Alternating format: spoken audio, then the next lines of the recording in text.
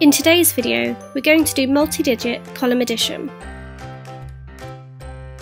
Here is a number sentence, 571 add 43. It's really important to line the numbers up correctly when you're doing column addition. So we have the ones, the tens and the hundreds. So we have five hundreds, seven tens and one one. Then we have four tens and three ones. So now that we're set up, we're ready to add. Pause the video to give you time to work out the answer. Press play when you're done. So first we add the ones. 1 add 3 equals 4. Then we can add the tens. 7 add 4 equals 11.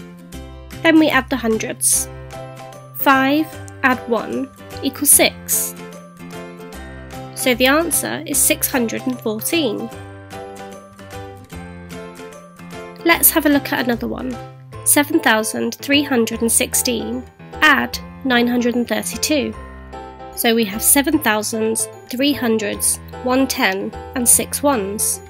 Then we have 900s, 310s and 2 ones. So now that we're set up, we're ready to add. Pause the video to give you time to work out the answer. Press play when you're done. So first we add the ones. 6 add 2 equals 8. Then we can add the tens. 1 add 3 equals 4. Then we add the hundreds. 3 add 9 equals 12. And then we add the thousands. 7 add 1 equals 8.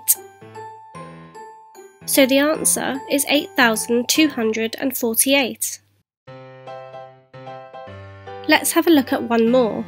3,541 add 5,733. So we have 3,000s, 500s, 4 tens and 1 1. Then we have 5,000s, 700s, 3 tens and 3 ones. So now that we're set up, we're ready to add. Pause the video to give you time to work out the answer. Press play when you're done. So first we add the ones.